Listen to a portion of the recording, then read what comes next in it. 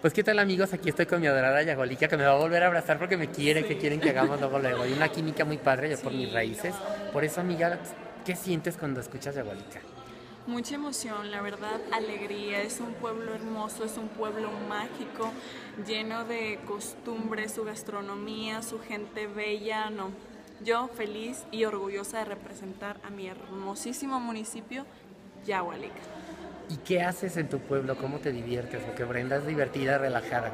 Sí, yo soy divertida, fíjate, soy más casera, soy más de Netflix y eso, pero en mi pueblo pues... Todos, Todo, o sea, es todo, o sea, hay de todo, hay desde camping, hay en la presa, el estribón, hay la plaza de toros, o sea, las canchas deportivas, el jardín, una plaza, tenemos una plaza preciosa, preciosa que deben de ir a visitar a nuestro pueblo, más en la noche se los recomiendo. ¿Y para comer qué les recomiendas? Porque Yagualica es tierra de comer, Ay, no me digas eso que ya me dio hambre y no hemos desayunado.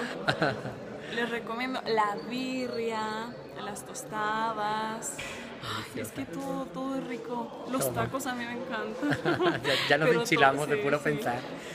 pues bueno, amiga, para terminar, ¿quiénes son las personas más importantes de tu vida? cuéntanos. Las personas más importantes en mi vida, primeramente, es Dios, mi Padre que está en el cielo mi madre es la persona más, más importante, ya que ella desde niña siempre ha estado conmigo, es una mujer hermosa, llena de bendiciones, la amo, y la luz de mis ojos, mis dos hermanos.